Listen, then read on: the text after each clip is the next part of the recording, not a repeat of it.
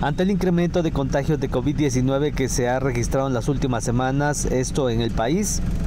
en torno a este tema se refirió el alcalde de la ciudad, Ricardo Quiñones, indicando que hasta el momento en la metrópoli se ha registrado un 25% de positividad del virus, sin embargo mantienen una vigilancia epidemiológica. Pues nosotros mantenemos no solo una, una supervisión, la positividad en la ciudad de Guatemala está en el rango del 25%, va en descenso, eso es importante hacerlo notar y por supuesto las fiestas de fin de año causaron un leve incremento. La buena noticia es que no tenemos casos graves, no hemos recibido reportes como se escuchaba en las épocas duras de los contagios, nosotros seguimos en lo que es la labor de poder entregar la caja médica, nuestros uh, centros de bienestar respiratorio, los que son de carácter permanente, están funcionando y tenemos siempre en las alcaldías auxiliares un grupo de apoyo que lleva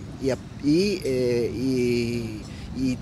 tiene los equipos para poder llegar al vecindario eh, y apoyar con lo que es la, eh, la caja médica que, que ha sido siempre muy efectiva y como se dice también, más vale prevenir que lamentar y mantenemos pues siempre eh, un esfuerzo de alerta en la, en la población. Cabe destacar que en torno a este tema también el ministro de Salud Francisco Coma indicó que repunte de contagios podría observarse en la segunda semana de enero, esto debido a las diferentes reuniones que se llevaron para las fiestas de fin de año. Para Nuevo Mundo Noticias, Ángel Vázquez.